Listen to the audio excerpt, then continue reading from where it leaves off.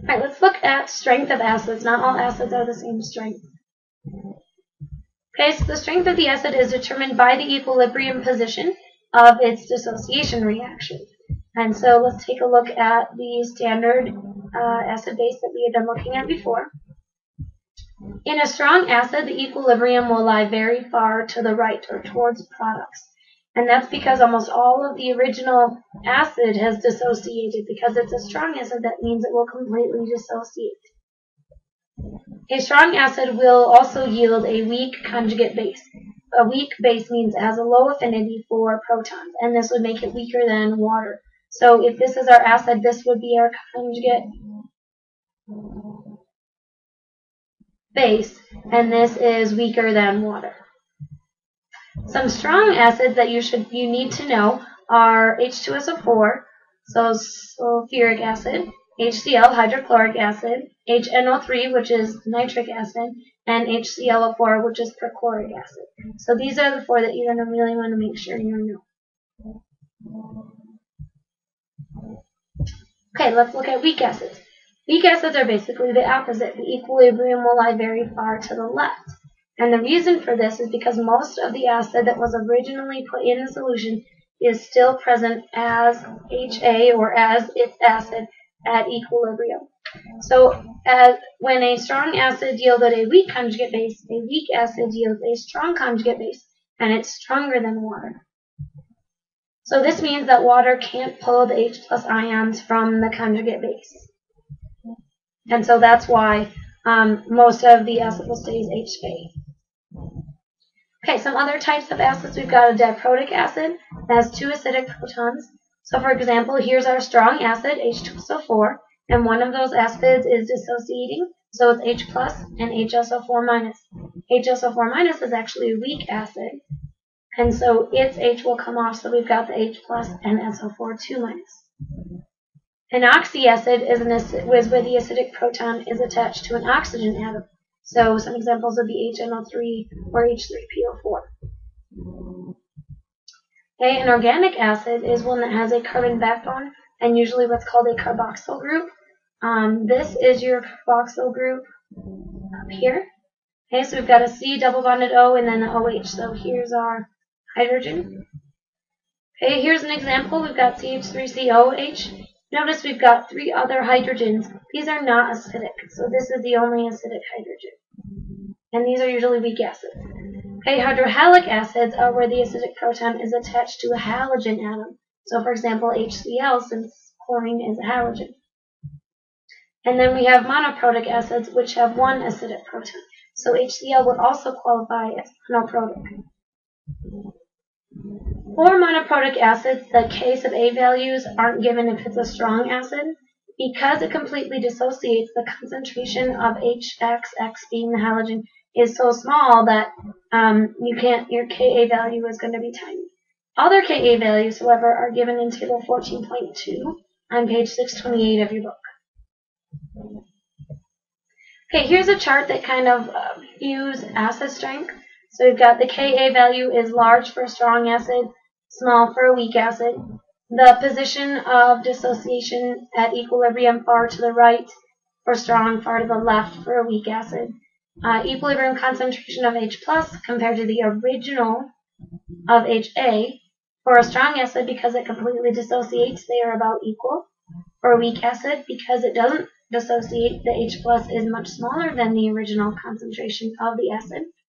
And if we look at the strength of the conjugate base compared to water, for a strong acid, the conjugate base is much weaker than water. But for a weak acid, the conjugate base is much stronger than that of water. So let's look at an example. So it says using K of A values, arrange the following species according to their strengths. There's a typo there. As bases. Okay, well, we know that strong acids have weak conjugate bases. Okay, so I know that HCl is a strong acid. So this means that Cl minus is a weak conjugate base. And so I know that's going to be weaker than water. Okay, and so now I just need to look at the fluorine ion, NO2 minus ion, and the CN minus ion. So if I look at on the table that I referenced in the book, the K sub A values for some of these acids. Okay, so the Ka for hydrofluoric acid is 7.2 times 10 to the negative 4. Okay, the K sub A for HNO2 is 4 times 10 to the negative 4. And for HCN,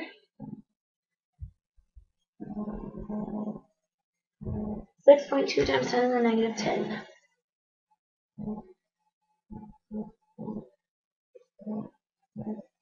Okay, so the strength, because the strength of the acid is inversely related, um, then that flips these. So if this one is, let's see, largest, so this I would rank as being the biggest, middle, very small, that flips them.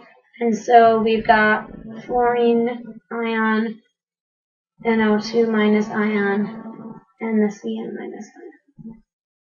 So CN minus, because it has the smallest K sub A value, is the strongest conjugate base. Okay, well water can be amphoteric, which means it can behave as an acid or a base, and it's the most common amphoteric substance. So autoionization is the transfer of a proton from one molecule to another of the same substance. And so this happens a lot with water, which is why it's amphoteric. So for example, we've got one water acting as an acid, one water acting as a base, and so this is accepting the proton, making it H3O+, plus, and then our acid is donating the proton, making it OH minus.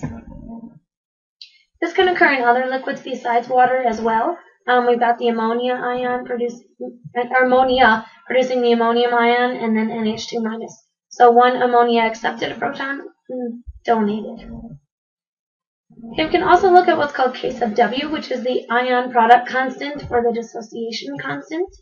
And it's the concentration of H3O plus times the OH minus. And remember, we can write H3O plus as H plus, and so it's the concentration of H plus times the concentration of OH minus. And based on experimental evidence, we found that at 25 degrees Celsius, H plus equals OH minus, and those concentrations are equal to 1 times 10 to the negative 7.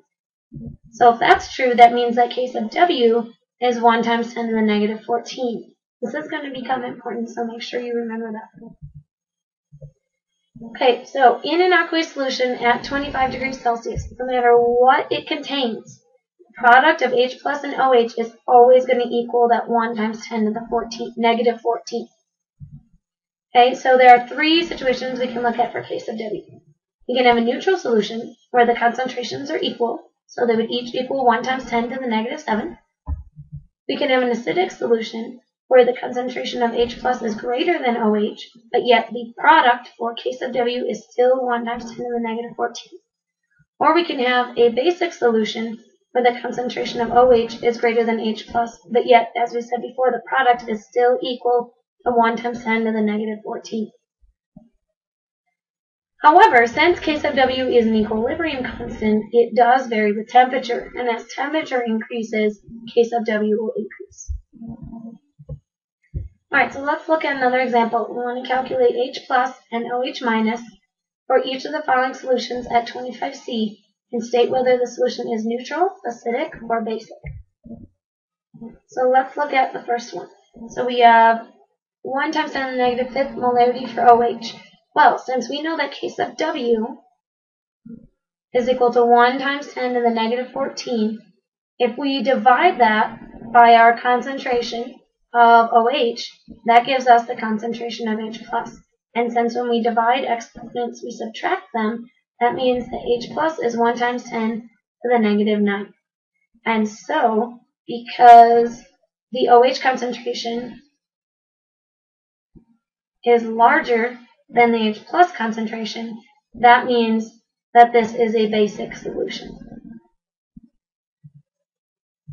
Let's look at another one.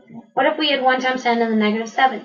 Well, if we did the same process as up here, take our 1 times 10 to the negative 14 K sub W divided by our OH, that gives us 1 times 10 to the negative 7 for the concentration of H plus, and since now the concentration of OH minus is equal to the concentration of H plus, this is a neutral solution.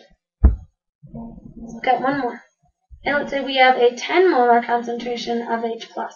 Okay, so now we take our K sub W, which is 1 times 10 to the negative 14. We divide that by our H plus concentration, and we get 1 times 10, let's see, that'd be 1, 1 negative 15. Clarity, and that's equal to our OH minus concentration. Well now, since the H plus is greater than the OH minus concentration, this is an acidic solution. Okay, let's look at another example. At 60 degrees Celsius, the value of K sub W is 1 times 10 to the negative 13. So as using Le Chatelier's principle, predict whether the reaction of 2 water goes to H3O plus and OH minus is exothermic or endothermic. So because K sub W increased from 1 times 10 to the negative 14 to 1 times 10 to the negative 13, that means that the T increased. And so we can look at this as a reactant. And according to Le Chatelier's principle, because we are trying to equalize things that are changed, if energy is added as a reactant, that means that this is an endothermic process. Let's look at the second part. Here we want to calculate H plus and OH minus in a neutral solution at 60. Neutral means that the concentration of H plus and OH minus are equal. And so we can take the square root of our K of W, okay, and that gives us 3 times 10 to the negative 7 molarity for our H plus and for the OH minus concentration because it's neutral.